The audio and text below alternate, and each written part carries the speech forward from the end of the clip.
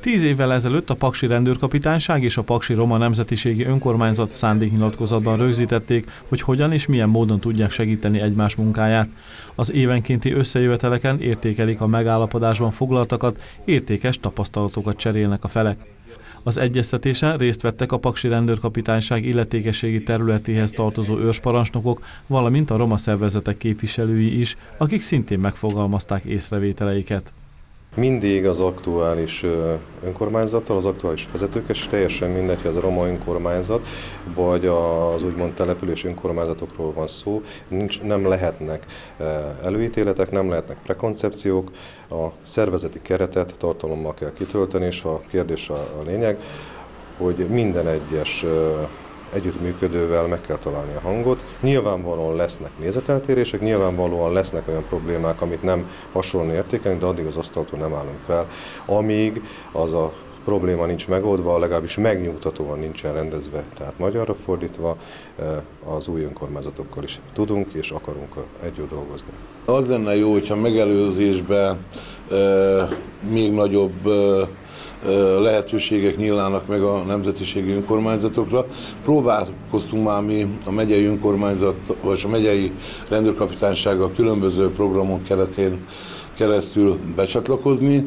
Ezzel vannak még bajaink, de én úgy gondolom, hogy úgy a Paksi rendőrkapitány, úgy, úgy a megyei rendőrkapitányság mindent elkövet annak érdekében, hogy programok mentén, pályázatokon keresztül minél több roma fiatal tudjon becsatlakozni, és minél több roma fiatalból váljon rendőr, annak érdekében, hogy az érdekképviselet, vagy esetleg úgy, hogy a közvetítő szerepe sokkal nagyobb legyen. Az összejövetelen részt vett Orsor Zoltán rendőrőrnagy, a Tolna megyei rendőrfőkapitányság Roma ügyi területi összekötője is. A vezető az eddigi sikerek mellett a jövő feladatairól is beszélt. Vannak tervek, egy nagyon nagy projektbe vágunk most bele, épp a tavalyi évről megmaradt pénz miatt csinálunk most a megyei szinten egy olyan programot, ami bármelyik kapitányságra elvihető. Ez egy ilyen művészeti zenei program, ami főleg középiskolásoknak szól majd. Ennek az előadói mi magunk leszünk, és egy pár zenész kollégám.